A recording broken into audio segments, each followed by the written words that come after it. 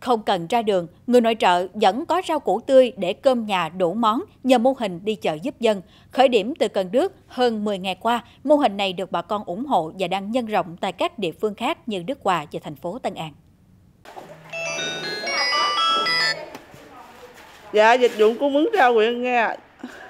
Dạ, nay có dưa leo không chị? Có chị. À, chị lấy mấy ký dưa leo nay 15 nghe chị. Dạ, lấy một ký dưa leo. Đậu bún có không chị? À, dạ không chị, em không có đậu bún. À, này em có thêm à, cải nồi với lại à, chuối. Chị lấy không? Em à, lấy thêm đó cho chị. Cải nồi lấy em 2 ký. Còn chuối thì à, có chuối gì vậy chị?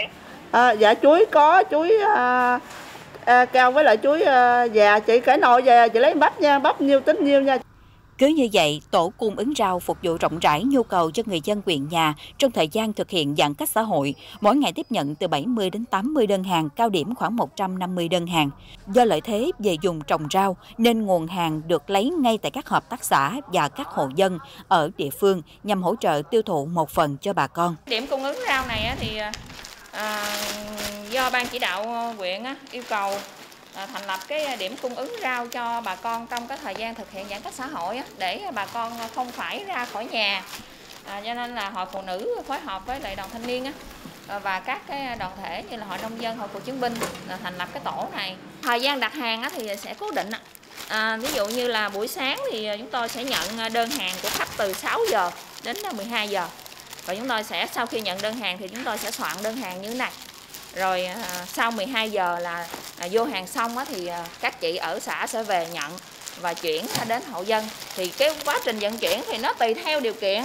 Ví dụ như là hộ xa hộ gần thì có thể là giao đến đến tận chiều luôn á. Ở địa bàn xa là các chị là đi tới tới tối luôn á rất là thương. Rau củ được tập kết và chuẩn bị đủ đồ, thành viên tổ vận chuyển của mỗi xã sẽ nhận về chia nhau rong rủi khắp các nẻo đường để phục vụ tận nơi cho người dân đã đặt hàng cũng mở Facebook lên rồi thấy à, bên à, hội à, phụ nữ của huyện Cần Đước á cũng có cái mở ra cái cái chương trình này thì cũng rất là tốt cho người dân là giống như giúp cho người dân mình á, đặt hàng qua mạng để hạn chế mình đi ra đường dạ.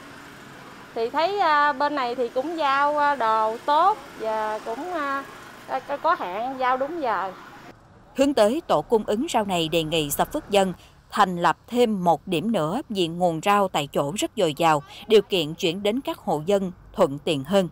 Để cho mô hình này là càng ngày càng tốt mà đáp ứng được cái yêu cầu cùng với lại chủ trương về chỉ thị 16 hoặc là là 16 tăng cường đó thì tôi nghĩ là các cái bếp mà ăn được tăng cường thức ăn, các cái bếp nuôi quân phải duy trì thì các cái cửa hàng hay là gian hàng này cần được sự hỗ trợ không phải chỉ có các đoàn thể khác.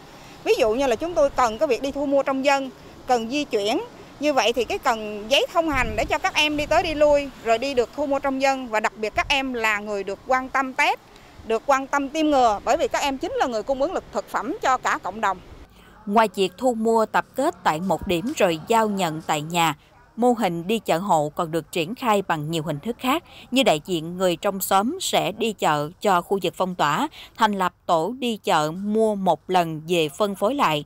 Qua đó, bữa cơm vẫn tương đối tươm tất trong giai đoạn giãn cách mà không cần phải đến nơi đông người, giúp bà con yên tâm ở nhà phòng chống dịch.